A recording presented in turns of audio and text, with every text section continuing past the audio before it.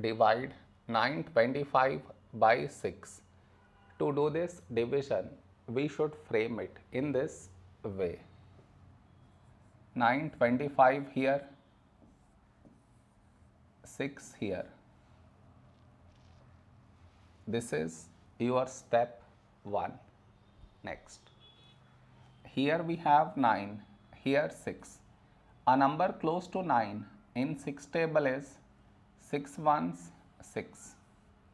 Now we should subtract, we get 3. After this, bring down the beside number, so 2 down, so 32. A number close to 32 in 6 table is 6 fives 30. Now we subtract, we get 2. After this, bring down the beside number, so 5 down, so 25.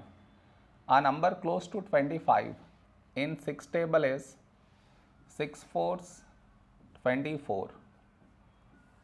Now we subtract, we get 1. No more numbers to bring it down. So we stop here. This is our remainder, this is our quotient.